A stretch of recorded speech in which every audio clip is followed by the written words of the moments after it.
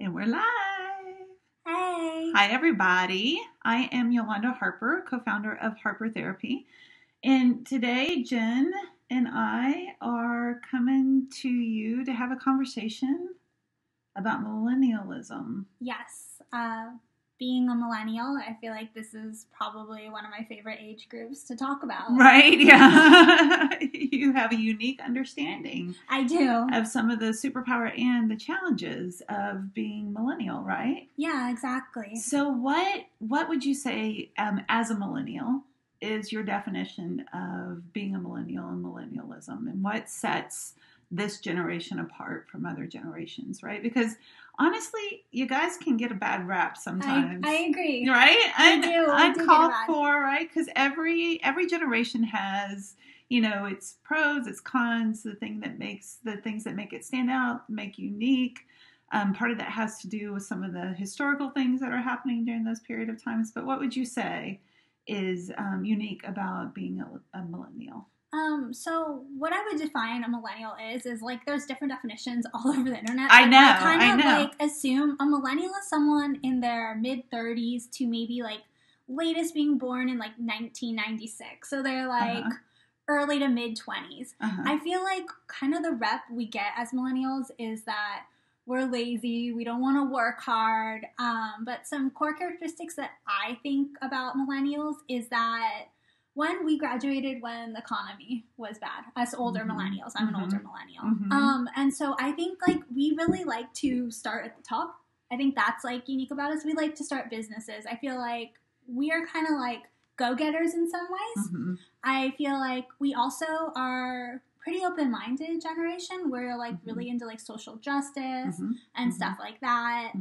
Um, another thing I would say is just like gender roles. We're more Mhm. accepting with like gender roles and you know transgender Mhm. issue related issues, and I think Mhm. with that like we kind of get like less definitions of like dating and all that. So right, and those kind of- stere- those typical gender roles in relationships, and, and the way that that historically has played out is different. yes, exactly. And- Totally. And I think another big thing is like when we were kids, we didn't have the internet. So we're kind of like that in between of like Right. Not growing up with internet, but then getting it and then that impacting us today. And I think that impacts us a lot different than like Generation X or Generation Z, Right, who are like right, the 14 year olds right now. right. So that impacts you guys differently than previous generations like mine, where the internet came on later in our lives, or the generation after you, where the internet was there the entire time. You guys had this flux of there wasn't an internet, then it was, and then big changes very quickly in the in the coming about and the advance in technology with the internet. Yeah, I would say that. I think that's what makes a millennial really unique is just our Yeah. in betweenness. Yeah, yeah, yeah, yeah. Kind of stuck in the middle of so many different things. Yes, exactly. So, I mean, there's so many different um, issues that I could talk about that relate to millennials. And we will. We'll kind of have a mini series about millennialism and how uh, being a millennial and those unique challenges um, impact relationships. But you had one, we were talking before we came on live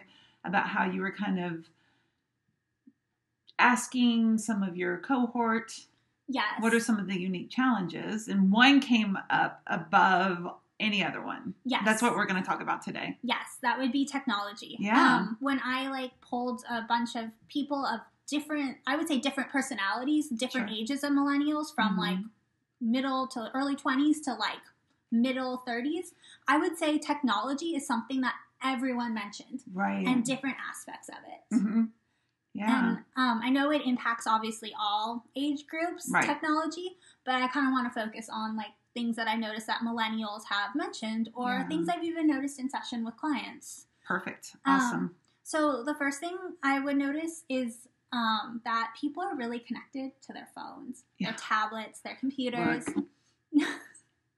right? exactly. They're Um, never that far away. Yeah, and I think that's even another aspect is many people work in the field of technology now. Mhm, so that even mhm. adds another element but i noticed that we are getting more disconnected because like even when we're sitting together Mhm. people talk about oh my like partner's on their phone or playing Mhm. on their tablet Yeah. and i think this is a challenge that we've been facing because i think that's leading us to not have as much meaningful connection because Face to face connection. Yeah. Yeah. I think that's something that we have taken for granted over a period of time, thinking that our online connections are the same as the face to face connection. Yeah, exactly. I think it's a struggle to be more present. hmm Yeah. So technology and the phone can be a distraction from the face to face connection um, in a relationship for couples. Yes, I would Totally. I would agree with that. Especially I think um, when things become more like tension in the relationship, the Mhm. phone can be a great distraction in a way of like just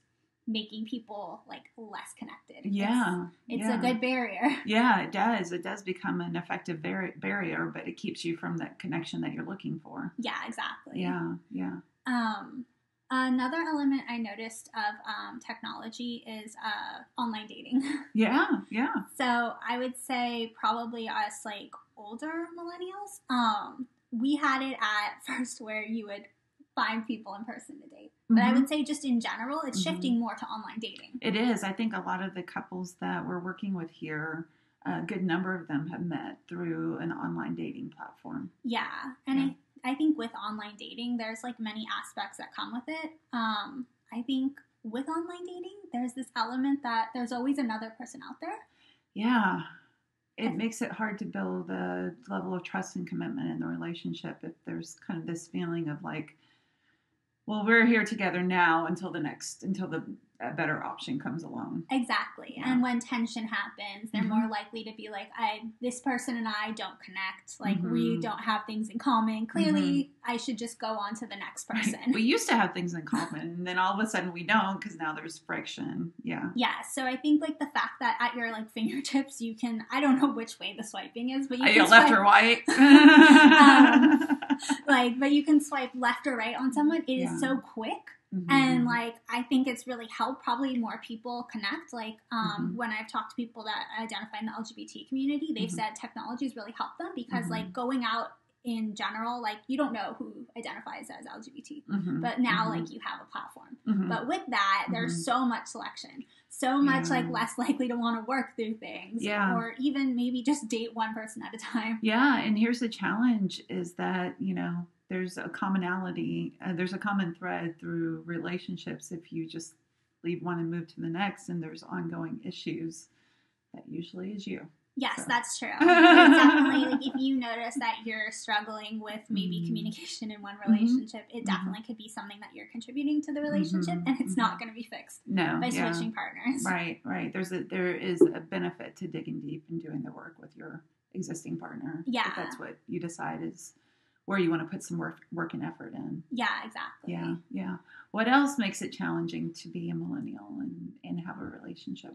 So, along with like online dating, social Mhm. media, I think that leads us to have less meaningful connections Mm-hmm. because we're so used to just posting things on Facebook that Mm-hmm. or Instagram that maybe you wouldn't really like talk about like 20 years ago. Mm-hmm. you know, we're posting everything, Everything, insignificant things just to get Mhm. likes. Mm-hmm. Um, and I think we also do that in terms of relationships. Mhm. People have mentioned that they feel like people are posting about their relationships on social media just for that validation Mm-hmm. versus actually being present in the relationship. Mm-hmm. So relationships have kind of turned in a way to like get validation from other people. Yeah, yeah, it is, and and unfortunately, that that effort isn't towards the relationship; it's toward towards the image of the relationship, the outward social media imaging of Yes. the relationship, instead of actually putting effort into what's going to build the relationship. Yes, Yeah. yeah, I agree with that. And um, sometimes I think that we are used to having more like superficial Mhm. connections through Mhm. Instagram and Mhm. Facebook.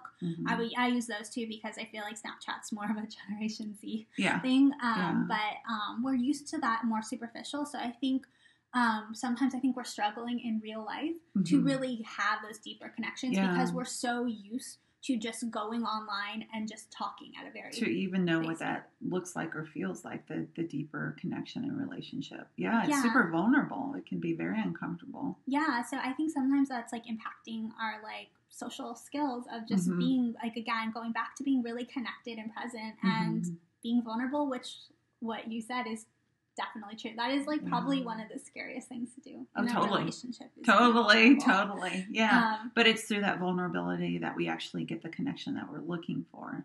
yes Yeah. Yeah, I agree. So I think like overall, social media has helped us connect in terms of meeting people, hmm in terms of like advancing our lives, Mhm. advancing careers. Yeah. Um, uh, but at the same time, I think it definitely causes a hindrance on our communication and Yeah. ability to be present. And I think just being millennial, we have just a unique uh, connection with it since Yeah. like we didn't always have this. Right. Yeah. So, if you and your partner would like some tips and tools for how to like use this more effectively and actually allow it to help you in your um, relationship instead of create a barrier,